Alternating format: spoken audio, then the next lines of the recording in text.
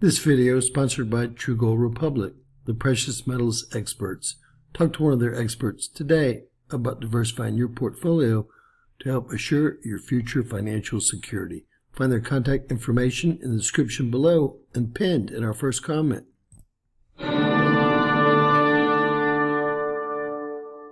James Kaufman, World News Report today, April 2nd, 2024. God bless you and yours, no matter where you are in the world.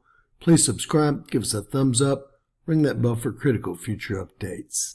ISS space junk may have ripped through South Florida home. You may recall last week the ISS expelled excessive waste cargo into space that was supposed to head towards and land somewhere on Earth. When I saw that story, I questioned why this waste would not float away in space and why it would fall to Earth. How low is the orbit of the ISS? In early March, Jonathan McDowell of the Harvard Smithsonian Center for Astrophysics posted on social media platform X that space junk from the International Space Station re-entered the Earth's atmosphere between Cancun and Cuba. Days later, an X user named Alejandro Otero said some of that space junk tore through the roof and went through two floors of his Naples, Florida home. Local media outlet Wink News spoke with Otero about what he believes is space junk that damaged his home. Quote, it was a tremendous sound. It almost hit my son. He was two rooms over and heard it all, said Alejandro Otero. Alejandro told Wink News he was on vacation when his son called.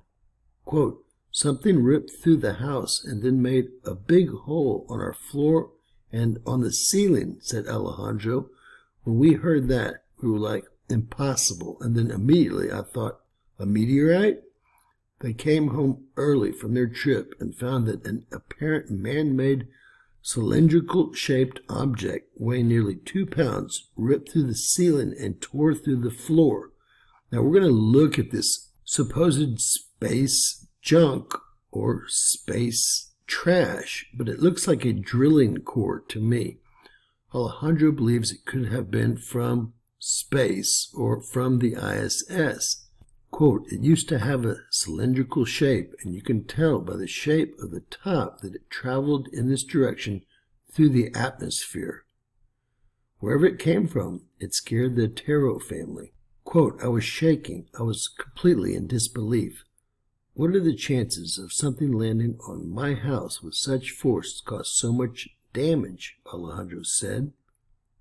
Quote, I'm super grateful that nobody was hurt. The incident sparked interest with the tech blog website Ars Technica, which spoke with NASA spokesperson Josh Finch. He said NASA's Kennedy Space Center will analyze the object as soon as possible to determine its origin. It gets more interesting if this material is discovered to be not originally from the United States.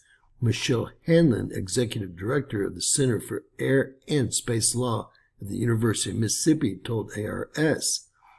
Hanlon added, if it is a human-made space object which was launched into space by another country which caused damage on Earth, that country would be absolutely liable for the homeowner and the homeowner's damage that was caused.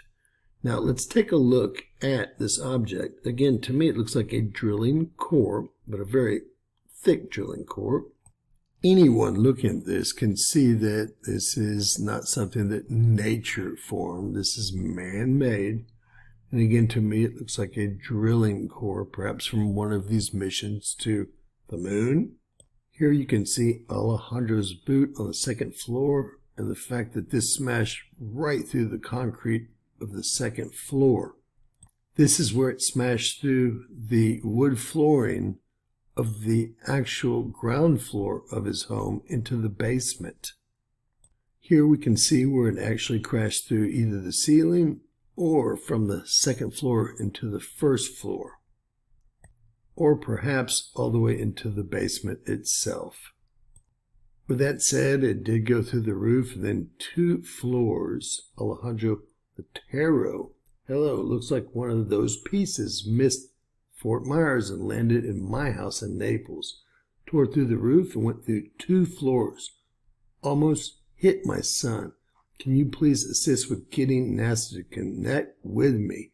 I've left messages and emails with no response.